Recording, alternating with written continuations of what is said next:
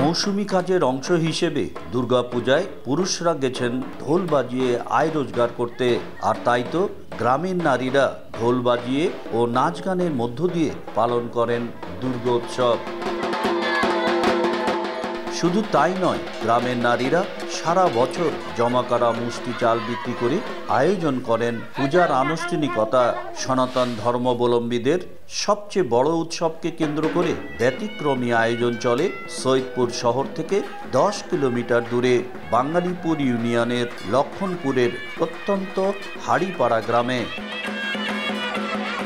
এই গ্রামের ত্রিশটি পরিবার গত দুই যুগ ধরে এভাবেই দুর্গোৎসব উদযাপন করে আসছেন পুরুষশূন্য গ্রামে ঢাক ঢোলের বাজনা, উলু ও শঙ্খধ্বনিতে মুখরিত মণ্ডপ প্রাঙ্গণ সহ পুরো গ্রাম দুর্গ উৎসবের আনন্দ থেকে নিজেদেরকে বঞ্চিত না করার জন্য এই গ্রামের মহিলারাই পূজার আয়োজন করে থাকে।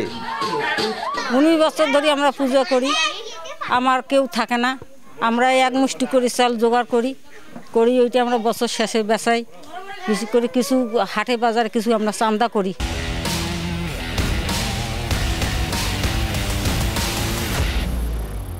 আমাদের এখানে কোনো পুরুষ থাকে না মহিলারা সভাপতি মহিলারাই আমরা সেক্রেটারি মহিলাটা এই পুরো পুজোটা শুরু থেকে শেষ আমাদের হাত দিয়ে হয়। আমাদের স্বামীরা বাইরে থা- বাইরে যায় আমাদের বাসায় থাকে না সেজন্য আমরা বাইরে পূজায় ঘুরতে যাইতে পারি না। হ্যাঁ যাই কিছুক্ষণ সময় কাটিয়ে চলে আসি।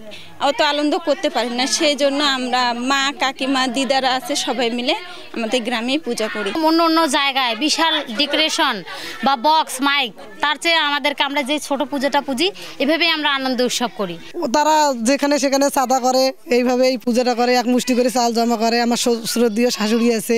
মানে যাকে পায় তাকে নিয়ে কিন্তু এই পূজাটা করে। নারীদের আয়োজনে গ্রামের এই পূজা দেখতে প্রতিদিন সমবেত হচ্ছে আশপাশের শত শত নারী।